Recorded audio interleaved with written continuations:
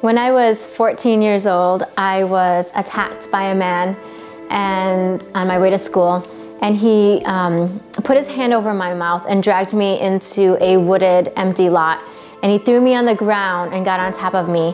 And with his hand over my mouth I was screaming the Hail Mary at the top of my lungs and all of a sudden he stopped and he jumped he looked above my head and he got very frightened and looked very scared and he jumped up and he ran away and um, when I turned around, I saw nothing. There was nothing there. And um, later, when the cops came, we found out that this man was a serial rapist and serial killer.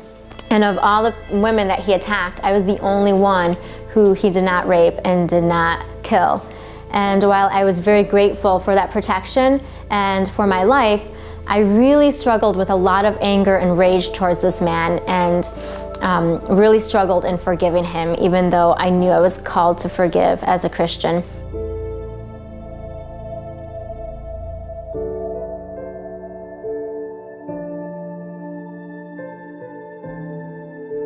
For many years, they were really hard years for me. I struggled with depression.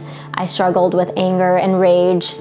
Um, I was miserable. I did not know joy and um, I just really, really struggled. I was constantly exhausted. And after many years, it took a while, but I was able to truly forgive him in my heart. And once I was able to do that, I experienced a lot of joy and a lot of peace and experienced an incredible freedom. And I was no longer exhausted all the time. And so I just realized um, how confining and, and um, frustrating and exhausting um, not forgiving someone is. And I knew that I didn't ever want to live like that again.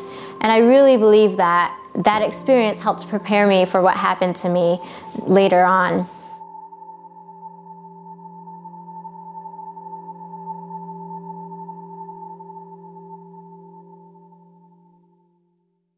So one evening I went to my friend's house to drop off some keys and on my way a woman came up and um, grabbed my purse. And my purse got caught in my arm, and I think that she thought I was resisting. And so, um, as she was yanking my purse, she had a gun and she shot me point blank with a nine millimeter. And um, when I had been shot, I actually didn't feel it. I didn't fall to the ground. And I was in shock, and I put my hand up to my chest and when I took it away, I had felt something wet, and when I looked down, there was blood on my hand, and that's when I knew that I had been shot. And she jumped in a car and took off, and I started to run out in the middle of the street to get help, and then I realized that I should probably get the license plate. So I ran after the car, and um, as I was running towards it, I was thinking, how am I going to remember a license plate at a time like this? And all of a sudden the car stalled. So I was able to get close enough to see it.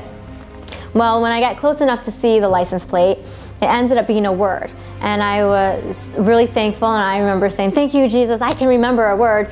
And the word was shield.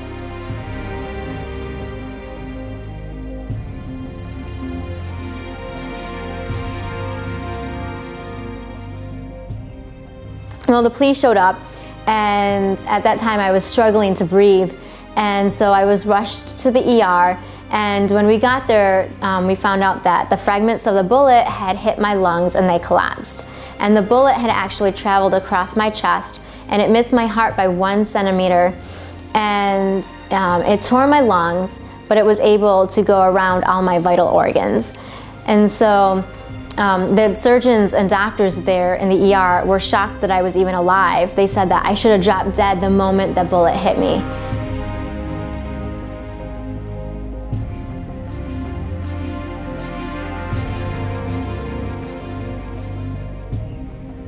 And so after eight hours of surgery, I was um, in a hospital room and my family flew from Michigan to California to be with me. And um, after we visited for some time, my family members, some of them were hungry and so they went down to the cafeteria to get some food. And my sister stayed with me and she is my best friend. We're very close. And she sat on the edge of my bed and she asked me how I was doing. And I said, well, I'm in a lot of pain. And she was like, no, I don't mean physically, I mean spiritually and emotionally. and she asked me, Have you thought about forgiving this girl? Are you very angry towards her? And I was really shocked that she asked me those questions. And it dawned on me that I hadn't even thought about not forgiving this girl, and I hadn't thought about being angry towards her. And I also realized that I didn't want to live in that anger and depression and all the horrible stuff that comes along with not forgiving someone and holding a grudge towards someone. And since that day, um, I have I haven't struggled with not forgiving her, and I knew in my heart at that moment that I had forgiven her.